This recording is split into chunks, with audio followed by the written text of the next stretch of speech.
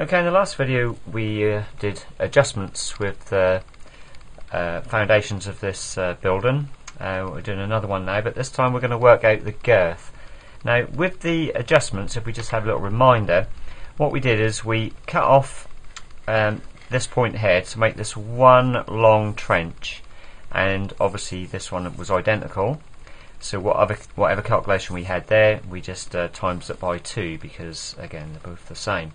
But what we did do is, by doing that, making this one the length to there, when we did this one, we had to make sure we deducted um, the that portion of the foundation just to make sure we didn't double up on that uh, measurement. Uh, with girth, the girth, we are going to be finding the centre of this so we can, in effect, just pull out all of this foundation into, into one long line. So Again, if I, uh, as I like to try and include, uh, the symbols and hatchings wherever I can, just so you get familiar with um, uh, what so far we've done, the brickwork and the soil and the concrete.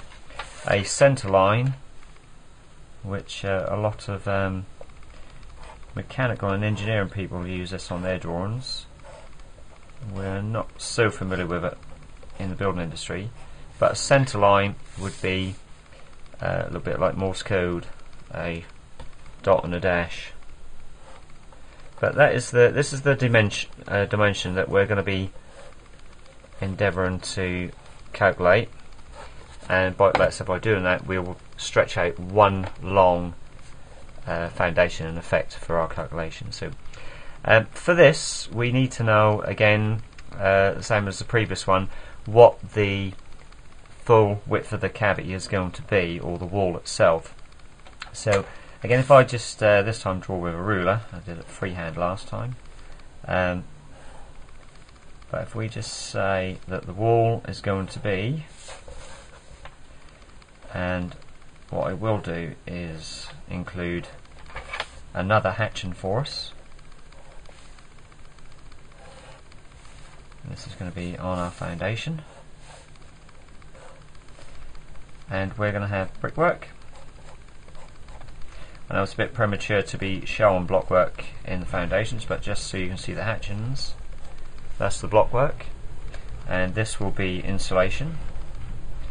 And what we're going to say is, as nowadays, very, very, very frequently, we will find with current building regs, we're going to have 100 mil insulation, 100 mil block work, uh, brickwork and 100 mil block work. So we can see there that our wall again, a very very familiar size wall, 300 overall. So we can see here that from uh, sorry the base work to the centre is going to be 150. So you can see the centre there to there, that is going to be uh, 150 millimeters. Okay, but you can again you can see here that we have our overall length and our overall width, and you can see that the center mark is 150 mil in, obviously from the center to the face, and the same that ends. So you can see 150 mil in, 150 mil in, 150 mil plus 150, 300 millimeters, so we need to deduct 300 millimeters off that and also the same on here as well. So we will have minus 300. So again what we're going to do, I'll just write on here this is the girth method. So our length that we have for our wall, I'm going to keep this at the moment in millimeters just to do this. So we're going to have 12 meters 500 and on this one here we're going to again this is going to be times 2 because it repeats itself. And then on this one here we're going to have 4 300 minus again the two 150s 300 so that will give us 4 meters. I'll keep it in millimeters just for the moment because we're not going to in the calculator just yet. Add these both together and we are going to have before I do that I will double these up. So we are going to have obviously this is going to be 8 meters and 12 and a half. I know it's going to be 25 but I just want to um, show you this. So we're going to have 12.5 multiplied by 2 is going to give us 25 plus 8 plus our 8 equals 33 meters. So you can see that is our girth or our centre line of our foundation. So that is the length. So the length equals 33 meters.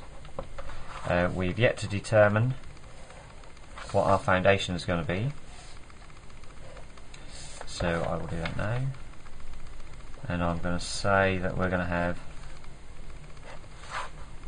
a traditional 600 millimeter wide foundation and we're going to have it at 450 millimeters deep. So if we just say that the width equals, and again into meters this time, 600 becomes 0.6, and the depth 450 millimeters becomes 0.45. So we multiply all those together,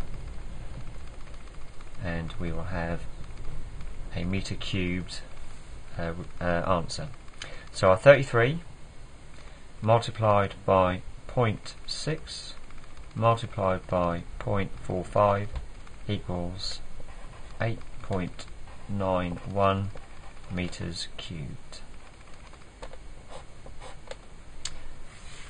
Okay, and there we go.